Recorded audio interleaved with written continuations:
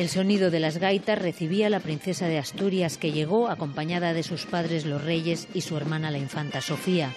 La familia real recorrió a pie la plaza de Alfonso II, saludando a todos los que habían conseguido un hueco en primera fila. Muy feliz de haber llegado en esta oportunidad. Muy guapa, muy guapa. Gran recibimiento a la princesa de Asturias en su primera visita oficial a Oviedo, un día antes de pronunciar el discurso en los premios que llevan su nombre. Cientos de personas llevan más de una hora aquí en esta plaza para poder saludarla, verla de cerca y vivir, según dicen, un momento histórico. Tras saludar a las autoridades, todos posaron para la foto oficial delante del Jardín de los Reyes Caudillos, por donde entraron al interior del templo para ver la Cruz de la Victoria, el símbolo más representativo de Asturias, que figura en su escudo y en su bandera. Después, el arzobispo de Oviedo obsequió a la familia real con un testamento de Alfonso II el Casto. Y antes de abandonar la catedral, los reyes y sus hijas hablaron con los trabajadores del Vesuvios, encerrados para pedir una solución ante sus despidos. En el exterior, un coro interpretó el himno de Asturias y la familia real volvió a saludar uno a uno a todos los que seguían esperando, entre ellos los alumnos del colegio donde estudió la reina doña Leticia de pequeña. Y a mí y a, Elena nos, eh, nos dijo y nos tocó la cara que era de nuestro colegio, había estudiado en él y que estaba encantada de venir a vernos. Que nos dijeron de repente, vamos a ir a ver a la princesa, no sé qué. Estamos ahí todos. Una visita que sin duda cumplió todas sus expectativas y en la que estos alumnos nos dejaron gestos de júbilo para la princesa. Ha sido la auténtica protagonista. Cientos de periodistas de todo el mundo querían captar la primera imagen de Leonor. Medios de comunicación nacionales y extranjeros de más de 10 países se agolpaban para conseguir la mejor instantánea. Hoy ya no valen los reyes, hoy es la princesa de Asturias. A los pocos minutos de su primera aparición en Oviedo, su imagen cruzaba fronteras y desde cafeterías y bares se enviaban las primeras crónicas con las mejores instantáneas. Yo he recogido un momento que ha durado unos segundos cuando han pasado cerca de nosotros y es una mirada de, la princesa con su padre. ¿no? Los profesionales, tras el objetivo, la han visto con simpatía y aplomo. Con mucha soltura, mucha ilusión, sí, sí. Su presencia ha batido todos los récords. La Casa Real ha querido dar todo el protagonismo a la princesa Leonor en esta fecha histórica para la corona. Se han cuidado todos los detalles. Tres días en el Principado de Asturias con una proyección sin precedentes, dentro y fuera de nuestras fronteras. Una presencia en Asturias centrada en dos ejes, el encuentro con los ciudadanos y con quienes representan la excelencia y los mejores valores. La Real Banda de Gaitas, que lo es desde hace dos años, recibía a los reyes en el exterior de este auditorio Príncipe Felipe, donde tenía lugar el concierto Premios Princesa de Asturias, una de las citas fijas de este programa de premios. Vigésimo octavo concierto de estos premios al que los reyes, tal y como estaba previsto, acudían sin sus hijas. Las gaitas acompañaban su llegada al auditorio y fuera también el entusiasmo de la gente. Es un honor tenerlos en, en Oviedo. Sin ellos no sería lo mismo, claro. Le recibían el presidente del Principado y el alcalde de Oviedo, entre otras autoridades. Y adentro, aplausos del auditorio, himno nacional. Y luego sí, el coro de la Fundación Princesa de Asturias, junto con la Orquesta Sinfónica del Principado, interpretaban una selección de fragmentos de ópera y zarzuela. Terminado el concierto, los reyes saludaban a todos los integrantes de la orquesta y a su director, con la noche ya entrada, fuera se oían otras voces, las de los obetenses que esperaban la salida del rey y la reina. Me ha parecido precioso, muy bonito, y estuvo dialogando con Leticia y Leticia le dijo, ¿saludaste al rey? Dijo él no. Y llamó a su majestad Felipe que viniera aquí a saludarme, muy majos. El inicio de la vida institucional de la princesa Leonor aquí en el Principado ha tenido también como escenario el Hotel Reconquista. Aquí, arropada por sus padres y hermana, ha asumido por primera vez el maratón de audiencias. La primera de ellas con los jóvenes universitarios, los premios fin de carrera 2018 de la Universidad de Oviedo. El primer comentario sobre Leonor. Sí, sí, les nota un poco nerviosas. La veíamos temblando a la pobre. Le salía la voz tasamente, tasamente. Después los galardonados con las medallas de Asturias, la de oro a título póstumo para Álvarez Areces, por su contribución a la democracia.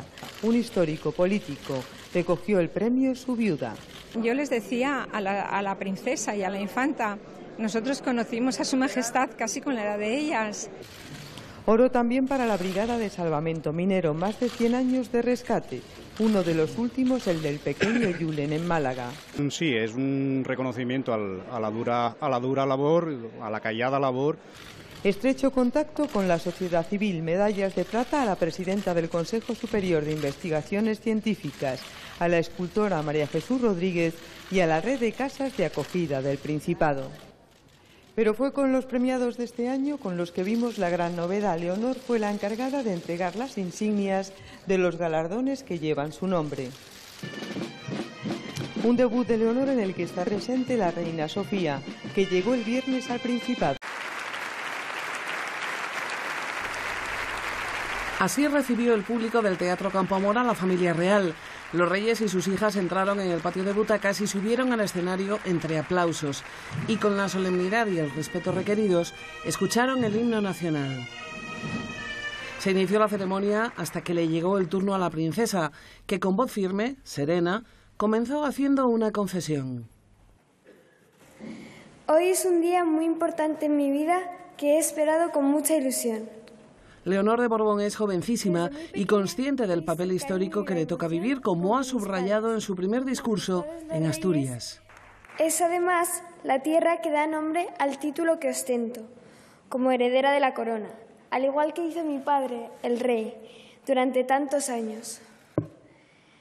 Y yo lo hago ahora con responsabilidad. Me siento muy honrada con ello. Es un título que me compromete con la entrega y el, ser, y el esfuerzo de servir a España y a todos los españoles. En sus palabras, agradecimiento a los premiados por representar los mejores valores de la sociedad y trabajar por hacer un mundo mejor. Y dos alusiones muy especiales. La primera, a la reina Leticia. Asturias es también la tierra de mi madre, la reina, y yo llevo sangre asturiana. Y la segunda, a la siempre presente Reina Sofía. Me gustaría dar gracias también a mi abuela, la Reina Sofía.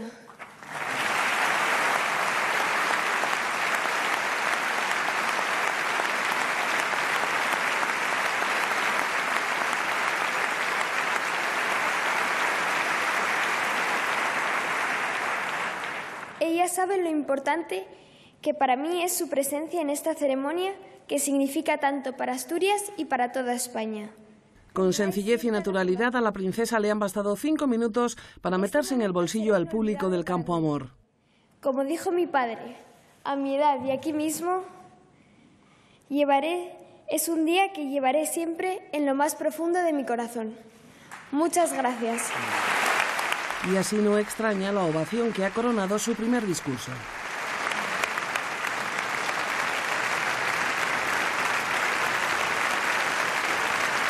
¡Viva la princesa de Asturias! El rey quiso que la ceremonia se centrara en su heredera, que nada empañara un momento histórico para la corona. Fue el discurso de un rey a una princesa heredera y de un padre a una hija, y como tal dijo saber lo que sentía. Sé muy bien lo que sientes en este momento, porque estoy seguro de que es lo mismo o parecido a lo que yo sentí. Responsabilidad, emoción y te confieso que también nervios, muchos nervios, probablemente quizá más que tú. Pero sobre todo muchísima, muchísima ilusión. Tu madre y yo estamos muy orgullosos de ti y felices de acompañarte y de ser testigos de este día tan especial y tan único. Estos premios significan, le dijo, el compromiso personal e institucional que tienes como heredera con España y con los españoles. Que deberás renovar permanentemente, con dedicación, espíritu de servicio, lealtad y responsabilidad, siempre con humildad. Y consciente de tu posición institucional, Mi deseo y el de la reina es que lo que vivas esta y otras tardes te ayuden a ser mejor para ayudar a progresar a nuestra sociedad.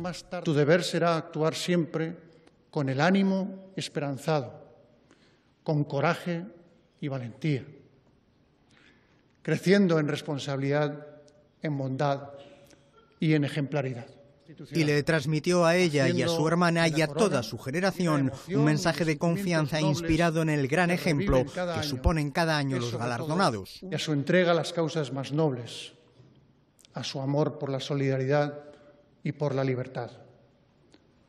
Gracias, en definitiva, a su nobleza de espíritu, que tanto deseo se fortalezca día a día en tu corazón.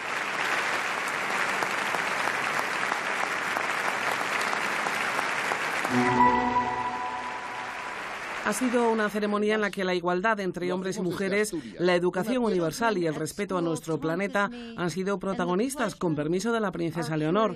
A ella se ha dirigido especialmente Siri Hasbert, Premio de las Letras, que habló en nombre de todos los premiados.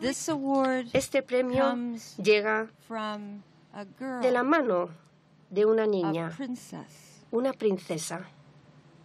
Me gustaría que fuera para todas las niñas que leen muchos libros sobre un sinfín de temas, que piensan, preguntan, dudan, imaginan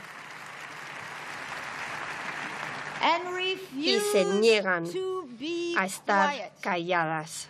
Sandra Mirna Díaz, Premio de Investigación Científica y Técnica, alertó sobre el futuro de la vida en la Tierra, el planeta que debemos conservar. Y Salman Khan, Premio de Cooperación Internacional, subrayó la importancia de la educación de calidad y gratuita como medio para abrirse camino en la vida. Javier Solana, presidente del patronato del Museo del Prado, Premio de Comunicación y Humanidades, alentó a la princesa y a su hermana a conocer la pinacoteca. Emoción y satisfacción en los gestos de todos los galardonados. La felicidad debe parecerse mucho a este momento en que se recoge un premio que reconoce un trabajo intenso y una trayectoria vital entregada a la humanidad. El premio de Pueblo Ejemplar cumple 30 años. Lleva aparejado la visita de los Reyes y este año además la de la Princesa de Asturias y la Infanta Sofía. Así que en Asiegu el entusiasmo hoy era por partida doble. La presencia de la Princesa de Asturias, ¿qué os parece? Muy bien. ¿Qué es lo que más te gustó? Pues no sé, es que el final, porque salía como lo que dijo su padre hace años y entonces era como muy guay. Preciosa, preciosa. Y cómo habló ayer el discurso, bueno, es que es una monada. Una pena la lluvia, pero bueno, igualmente emocionados. No llegan a 100 habitantes, pero a los vecinos de esta aldea se han unido hoy muchos otros del concejo de Cabrales al que pertenece. Su queso y su sidra son dos de sus riquezas. Cómo se elaboran se lo han explicado a toda la familia real, a la que también han obsequiado con su preciado lácteo. Tras descubrir la placa que les acredita como pueblo ejemplar, había que seguir recorrido. Hubo obsequios, manzanas para la mejor sidra, artesanía textil y hubo también encuentros con los mayores y con los más jóvenes de la aldea. Su presencia es un símbolo de cómo Asiegu lucha contra la despoblación. Esto es un premio a la gente joven que recupera las tradiciones en los pueblos y que decide volver a vivir a ellos a pesar de lo que se dice ahora de la España desaprovechada. Pasó de no haber críos muchísimos años, igual 20 o más años, ahora ver como 8 o 9 niños. Ha sido una visita muy animada. Siegu ha conseguido su premio de pueblo ejemplar entre 26 candidaturas que se presentaban. Esta jornada ha dejado muchas imágenes y también muchas palabras, porque al tradicional discurso del rey en esta cita se ha unido este año el de la princesa de Asturias.